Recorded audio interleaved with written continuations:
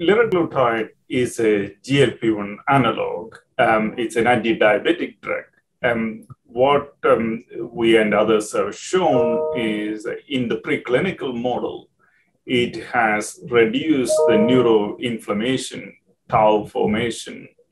Um, it improved the synaptic function. It reduced the amyloid formation.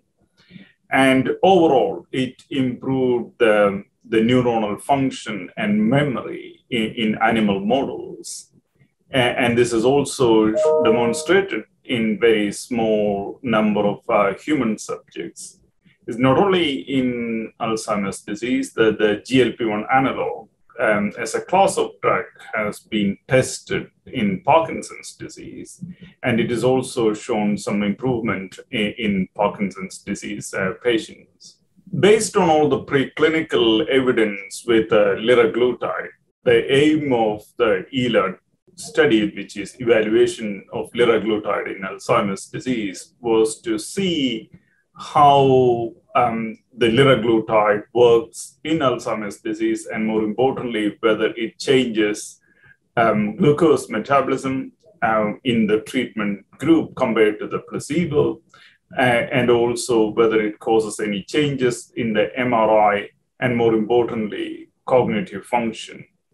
So the study in, in this particular study, we recruited around 204 patients. They were randomized one to one to receive either treatment or placebo. Uh, these subjects had a daily injection of liraglutide, and the patients had the baseline MRI, and PET scan, all done at a single center at Imperial College London. Uh, then the patients um, underwent the clinical visits, which were done locally, and they finally they had the final um, MRI and PET scan again at the same scanner at Imperial College London. So what we have demonstrated is that patients who were treated with liraglutide uh, they tolerated the drug very well. And more importantly, the MRI volume was maintained in the patients treated with the liraglutide, while those who didn't receive the active treatment, the MRI volume was deteriorated significantly compared to the treatment arm. Um, again, um, looking at the cognitive function, the cognitive function also performed much better in patients who were treated with the liraglutide compared to the placebo arm. However, we did not see a significant change in the glucose metabolism, which we think is uh, probably because of the small numbers um, studied in the subject.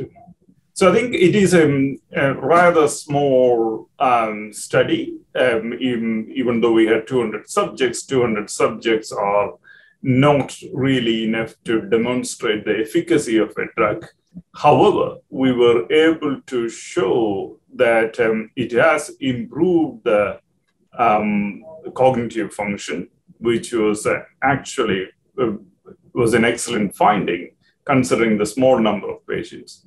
We have also shown that the, the biomarker, the MRI, has also improved or, or, was better in the in the patients treated with the uh, the liraglutide, which suggests that you know a, a larger study um, of looking at the GLP-1 analog could be a potential um, has got great potential and could be a treatment in Alzheimer's disease if we were to prove that uh, it improves the cognitive function in larger studies. There are oral GLP-1 analogs at the moment. Um, uh, Novo who is the company which um, produces this compound, um, they are already trying to run a phase three study of the oral GLP-1 analog.